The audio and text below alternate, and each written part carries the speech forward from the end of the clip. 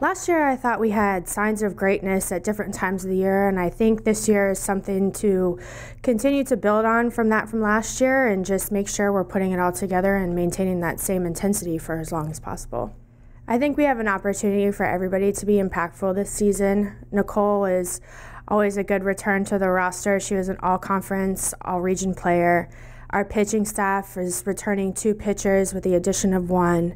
I have four infielders coming back and three new infielders, and a strong outfield with four returning and one coming in. So I think this year with a smaller squad, we're going to have everyone's going to have a really good opportunity to help us out. We're going back to Gulf Shores, which is somewhere we started out last year. It's a great tournament. It's a lot of regional competition, which is important for us to play.